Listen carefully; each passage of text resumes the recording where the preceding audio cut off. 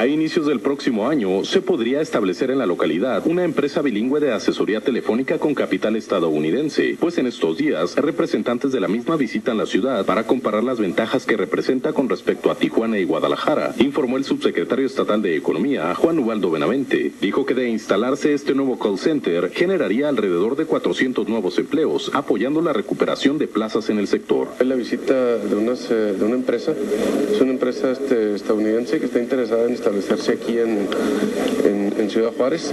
Van a estar el día de hoy, vamos a estar visitando los diferentes parques industriales y por ahí del día de mañana vamos a tener varias presentaciones en la oficina aquí en la Subsecretaría de Economía del Gobierno del Estado, en las cuales vamos a decir las bondades y con qué es lo que cuenta la ciudad. Obviamente uno de, eh, de los puntos de referencia o de interés por parte de ellos va a ser el que las personas sean bilingües.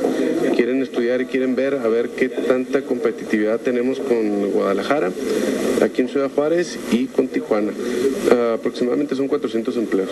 Eh, la inversión todavía no la tenemos ahorita determinada. Todavía, este, ahí todavía no sabemos el dato. Comentó que Ciudad Juárez tiene un alto grado de competitividad con respecto a personas bilingües. Prueba de ello es el constante sobrecupo en el Centro de Lenguas de la Universidad Autónoma de Ciudad Juárez. Sí, de hecho, este, bueno, como un dato importante quiero, quiero mencionar que el Centro de Lenguas aquí de Ciudad Juárez, que es de la Universidad Autónoma de Ciudad Juárez, pues eh, siempre ha estado lleno, este, siempre está sobrecupo.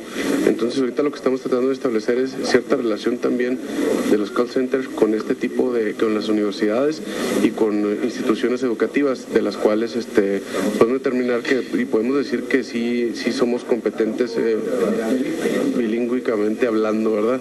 A nivel nacional.